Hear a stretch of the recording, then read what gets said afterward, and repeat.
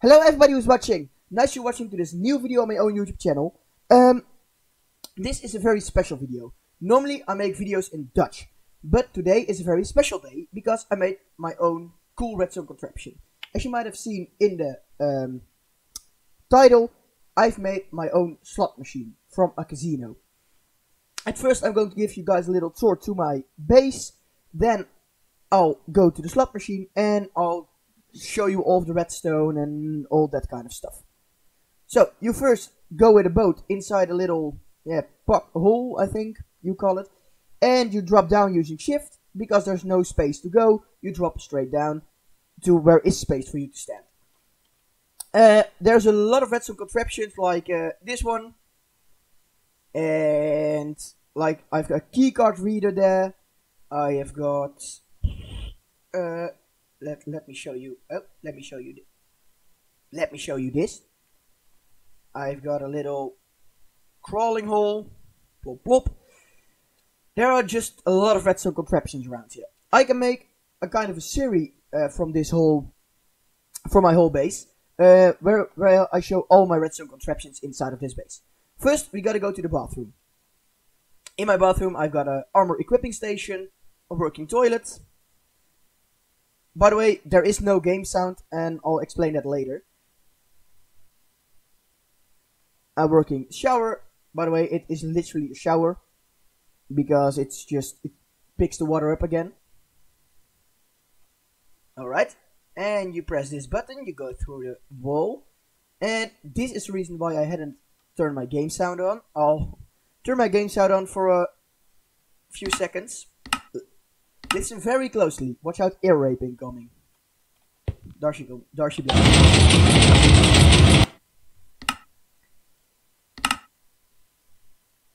So that's the reason why I put my music off. Uh, I'll be back to you guys when I'm down with the flying machine. It's kind of a lift now, but I'll be back to you guys. Alright, I'm finally down. And as you see, I've got two shopkeepers. One and two. This one offers you 5 diamonds for 10 golden nuggets and this one one cent for one diamond. Uh, this is a very silly trade, I know, but the gold nuggets are just like the poker coins. You need them in order to play the games over there. Well, if you go over here, you've got loads of variation on games. At first, you have got a bowling area, which if you chuck two golden nuggets in, you get two apples that act like bowling balls. And you need to throw them in the hopper. Alright, I'm just bad aiming. Wait a minute, I'll, I'll fix that. Alright, you guys have never seen that, it's just not likely that I threw a lot of apples in there, okay? Alright, if you manage to get one in, you get two sand. After that, we've got the almighty moment you've all been waiting for. I've put away my golden nuggets, that's not very smart. You need five golden nuggets in order to play the game. I don't know if I've, yeah, I've got some sand around here. Alright, if you put your golden nuggets in here, it has to be 5, the game costs 5 to play. By the way, uh, you can't play without, look, the piston feed tape isn't working without you putting in all of your 5 gold nuggets. When I put them in, they're getting eaten by the dropper, and you can play the game. You have to wait around 3 seconds by flicking the lever because of all the timings of the redstone, but the piston feed tape is now working. Well, if you manage to stop it on diamond, it's also here, but that's in Dutch, and I think I need to translate that for you guys. So if you manage to stop it on diamond, which should be now. Sorry, I've got a little bit. I I I know how this thing works. Okay. All right. So I've stopped it on diamond now, and now the whole system is going in action. He's just like, oh, whoa, you won! Congratulations! And it takes about 15 seconds before your items are dispensed. Also because of timings, droppers. It's just a lot of timing uh, which is in between them. But as you see, there's coming sand in. And it's between the 30 and 40 sand. I hope I get a... Oh, I get 35 now.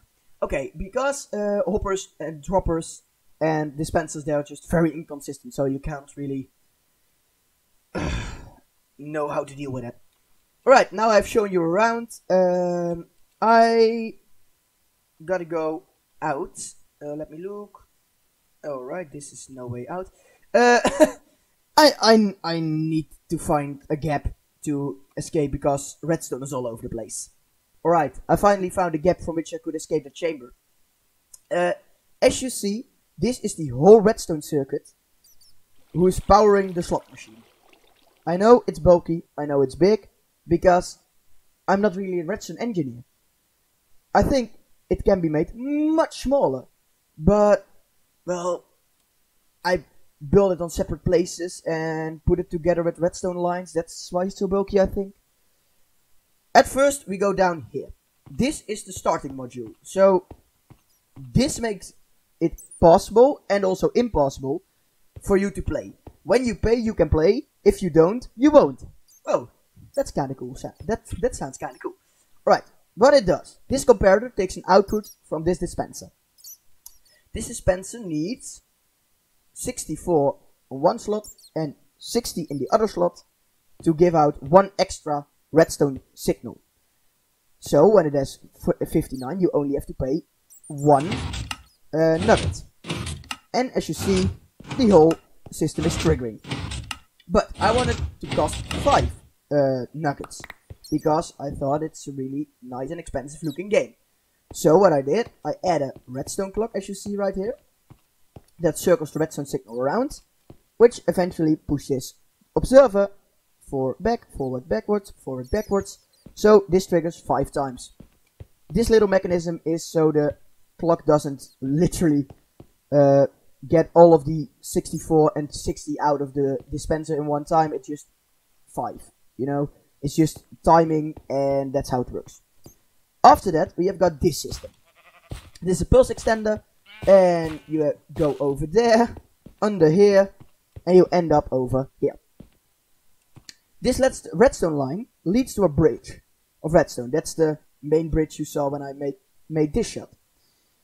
This bridge goes all the way over here, over here, over here, and finally ends up in this little chamber.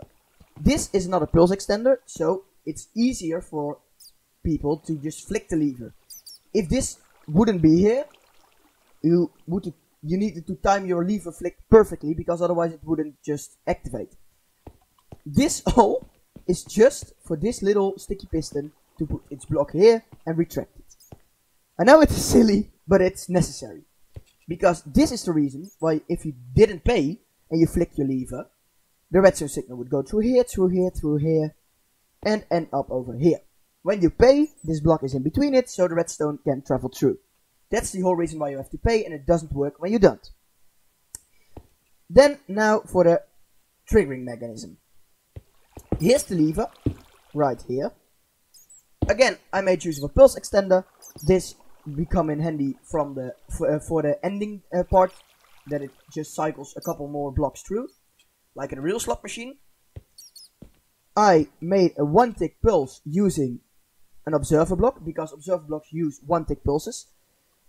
That become in handy in this kind of T flip-flop I don't know if you know what a T flip-flop is but is it but if this gets a redstone output the block moves towards here and this redstone torch powers this. Because these are these are all on one tick uh, delay, that means that the one tick pulse is staying a one tick pulse. So at first the block goes to here, and then the block will be spit out by this piston and will go to there. That's literally, but uh, the reason why I needed not a one tick pulse for this sticky piston is because the cauldron needs to be on and off. So I get a, not a one tick pulse for these guys. I know guys, if you're not a redstone, if you don't know a thing about redstone, I don't think you understand even a thing what I'm saying, but I hope I'll explain it as logical as possible. Because with one tick pulses, once again, sticky pistons spit out their block, and this block would end up in the circuit, and it would just space all over the place. So that's why I needed more than a one tick pulse. So I did it with did, did it with with this system. Jesus. There come there comes a constant pulse from it, so you can make your system very reliable. It's not like you flick a lever and if you flick it a millisecond too late or too soon, it breaks. No, because this is always the same timing. It's not that hard actually to build. It's just it looks a little bit messy because it's not compact, you know. But why do you need sticky pistons, you might ask? Well, as I mentioned on before, I'm not a real redstone engineer, so I use a redstone block in the circuit to actually power the winning line. This is the winning line. I'll come back. I'll come to that soon. But if this wasn't a sticky piston and a regular piston, then it needed to be uh, then it needed to be over here, which means it gets powered when the redstone block is over here. So it pushes and it stays because the redstone block stays over there. That's the reason why you need sticky pistons, so they have one space in between them. I'm sorry, I just forgot to put an example in the video. So this clip is recorded a little bit later, but I hope it explains what I'm saying in the last few seconds of the video you've watched. This piston puts, uh, pushes first, then this piston, then this piston, then this piston, and it all continues in the same pattern. Because this is a redstone clock on its own, yeah, it's a fairly big redstone clock, but as you see, this is a redstone clock on its own. I'll come back to this later the redstone signal is cycling around and around and around. So this goes on for as long as you want it, and when you don't want it anymore, you stop it by flicking the lever again. So I'm sorry, the lever is over here, so I needed to break this. When you flick this lever, you see, that's hold the system, but it didn't work because this block wasn't in place, because it didn't pay. This whole redstone clock is going, yeah, on. I think, uh, uh pulse extender, I'm sorry, not a clock. I think I could call it on. This pulse extender gives a signal towards, if I can follow it anymore. Ah, uh, no I can't. It goes over here. Yeah, this was, I don't need this line, I'm sorry. This can be removed. That's not necessary. It goes to this piston. Because the redstone um, circuitry is built to just make a clock, this redstone block is necessary in order to retain the movement of the redstone. But now a now a funny thing happens, not a strange thing. If this redstone will be set off, look, because this pulse extender, it will leave it on for a couple of seconds. So this block in, uh, stays in place for a couple of seconds. So the redstone clock can just continue for a couple of seconds. And why the hell isn't it going out? You saw it working previously. I'll find out for you guys. Wait a minute. I already knew it. I'm so stupid. The, the level wasn't turned off. Look. When it turns off, the redstone is getting a little bit less strong. Is what I wanted to say, but it all happens too fast. Look. If I flick this on, that block is in place, so the line can continue to circle around the redstone. When I flick it off, that that block gets retracted. So the redstone line stops over here. That's also the reason why I needed to fire this piston first. Because this one, it always ends up like this. Because this piston is the last one to fire. So it fires one block down and it also and it always ends up like this. If you're going to build it, as I did, you need to make sure that your piston feed tape looks like this. So four blocks, one block, three blocks, one block. And then that piston fires at first and that one at last. Yeah, at last. So that's the whole uh, piston feed tape done. Then the winning pattern. The problem with me as not a redstone engineer is this redstone block would trigger always if it travels around. So that means even if you just let it travel around a lot, you get infinite points because the redstone block is constantly powering this.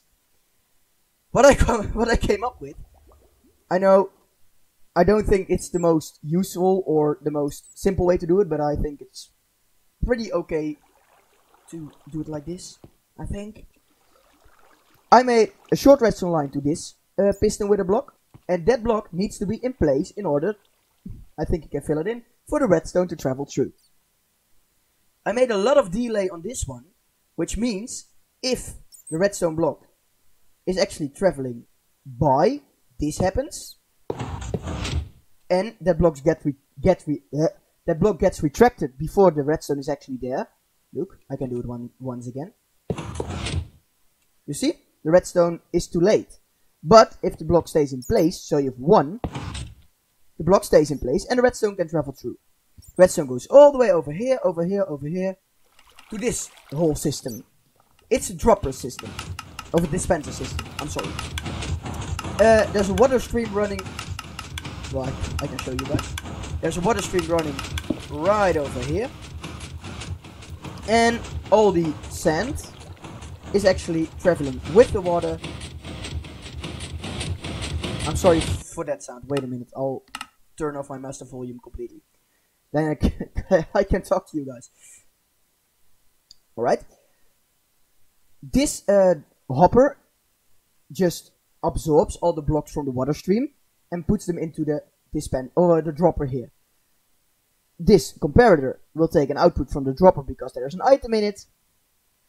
This is sent through to uh, I think this is a redstone clock. Yeah, I think you can call it a redstone clock. Look, if I put a lot of items in it, it just flickers around, which means a very short redstone line, uh, pulse, I'm sorry, triggers this, so the items get out dispensed pretty, pretty, pretty fast, as you see. After that, it's going up on a bubble elevator. This is just a normal bubble elevator with uh, soul sand. Then it travels around like this, like this. This is all the water stream, by the way.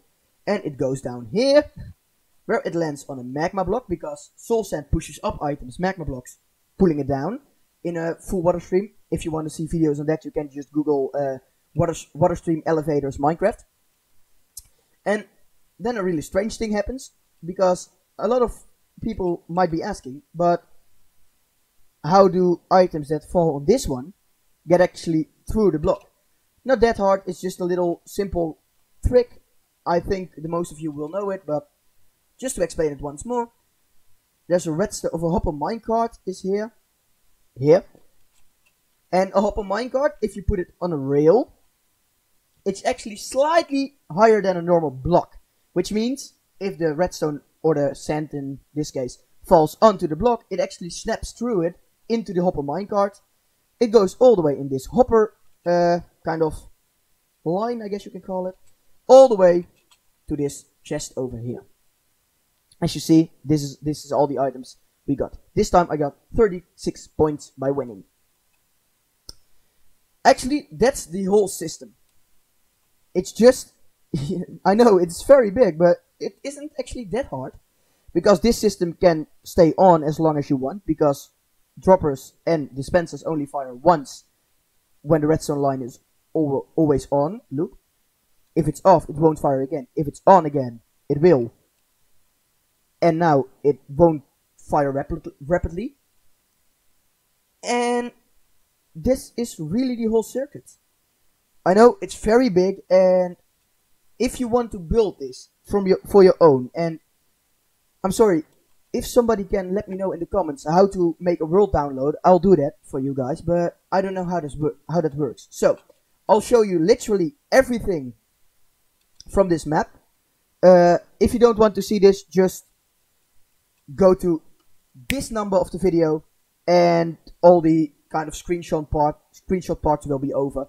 But for all of you who want to see this, I'm going to cut away my face cam uh, when I'm doing this so you can see the redstone very specifically and I'm going to put a little music under it so you can just enjoy the view of redstone.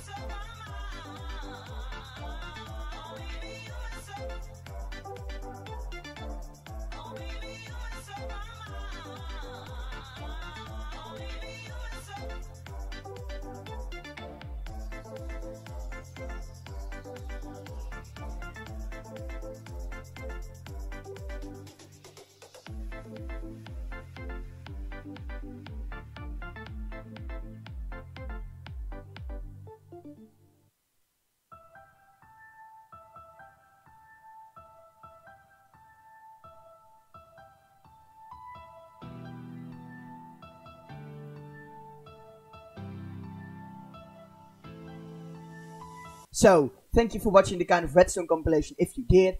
Yes, it is another day for me now because I was too ex too excited that I made my first video in English and I forgot to record an outro. So, here I am. Um, the, the reason why I made this video in English is because I want the most people to enjoy this video. Uh, the Dutch viewer uh, group is very big, very, the community is very big, but the English is slightly bigger. So I thought I, may, I make this video in English, and if you want to see more English videos of me, make sure to hit that like button. But at 25 likes, I'll make a series, uh, an English series on my YouTube channel. Um, I really hope you learned a little bit today, a little bit about Redstone or Minecraft or what else. And I want to say thank you guys for watching. Give a thumbs up on this video. Leave a comment down below if you want to see a series and how I need to make a download link for this map because I couldn't find it on the internet either and I don't know. Um, make sure to share this video with all your friends. Stay home, stay safe in this uh, quarantine times. And um, I only have to say one thing more, and that is uh, ciao.